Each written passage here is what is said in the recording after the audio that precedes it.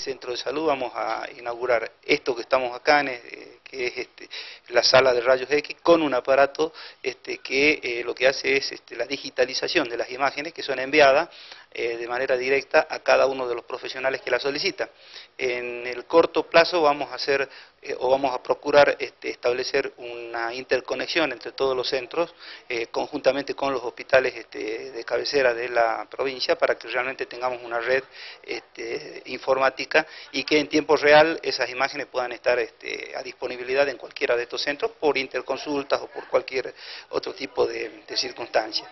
Y la otra cosa que vamos a hacer entre acá es un ecógrafo de última generación, realmente va a brindar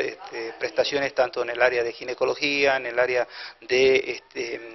de toda la parte de clínica general, este, abdomen, etcétera, este, que es muy importante. Realmente yo creo que el esfuerzo que hacemos este, eh, quienes trabajamos en salud, ya sea en la parte dirigencial o del ministerio, como también este, quienes están en cada uno de los centros de, salud, es este, muy importante y la manera, la mejor manera que podemos tener de ayudarlo es justamente brindarle las herramientas necesarias para que puedan hacer un diagnóstico eficaz, un diagnóstico oportuno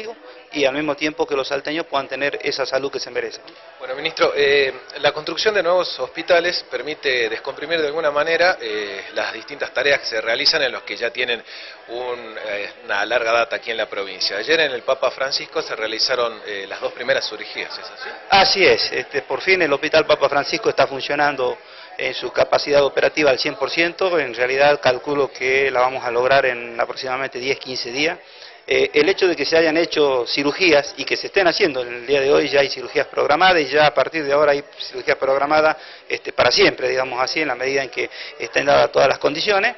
Este, significa que no tan solo funciona el quirófano, que hay anestesistas, que hay cirujanos, sino que además funciona la terapia intensiva, funciona la sala de internación, están trabajando todo el plantel médico, el plantel de enfermera, es decir, absolutamente toda la gente que tiene que trabajar este, en el hospital.